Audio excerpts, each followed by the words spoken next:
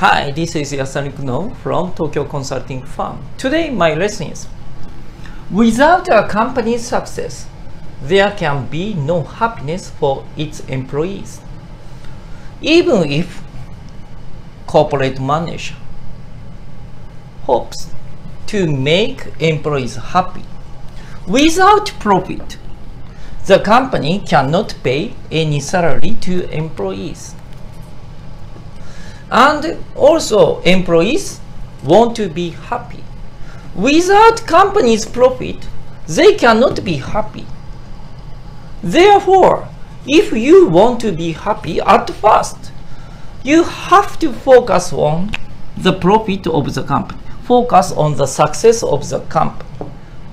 Before you focus on your salary. To get lots of profits, to make company succeed, we have to focus on the corporate values and we have to take actions according to values. So if we focus on the on salary only, this is a contradictory situation. We cannot get anything. So therefore, if you want to get something, at first you have to focus on what you can give to your customers. It's up to you.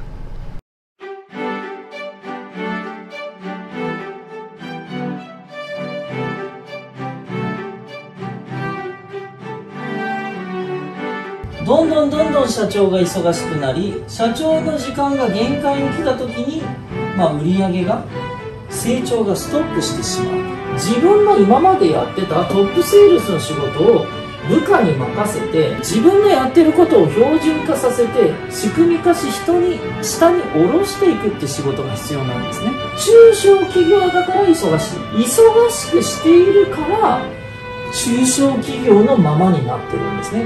今年の成果ではなく未来の成長にこだわる。どっちに経営者はこだわる？成長にこだわれば短期的な痛みっていうのは受け入れられるんです。